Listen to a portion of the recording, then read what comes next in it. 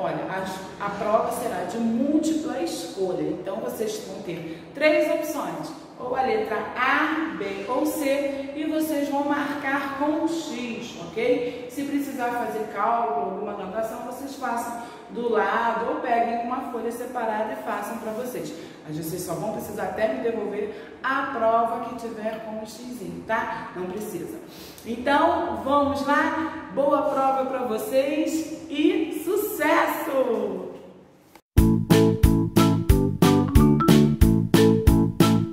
Avaliação do quarto bimestre, matemática. Cada acerto vale um ponto. Tem 10 acertos a prova. Número 1. Um, Maria deposita todo mês 200 reais em sua poupança. Quanto ela terá depositado no final do ano? Então, vocês vão marcar, vão fazer o cálculo e marcar na questão A, B ou C, na alternativa. Vocês podem pegar uma folha de papel para fazer o cálculo. Só precisa marcar a resposta correta. O termômetro, ontem, o termômetro que fica na praça da cidade em que Ana mora, marcava a temperatura de 39 graus centígrados. Essa é uma temperatura que reflete que tempo na cidade de Ana? Letra A, frio, B, quente, C, nenhuma das alternativas anteriores. 3. Hoje, o mesmo termômetro da praça registrou uma temperatura de 15 graus na cidade. É, enquanto a temperatura baixou, vocês vão fazer o cálculo e vão marcar ou alternativa A, 21 graus, ou alternativa B, 22 graus, ou alternativa C, 24 graus. Número 4.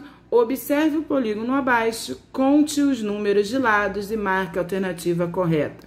Então, o polígono está aqui, vocês vão contar os lados dele e vão escolher uma alternativa, procurar a alternativa certa. A, seis lados, B, sete lados, C, cinco lados. Número 5. Qual é o perímetro de um terreno quadrado que tem 8 metros de lado? 24 metros, 12 metros ou 32 metros? Façam também numa folhinha todos os cálculos, tá?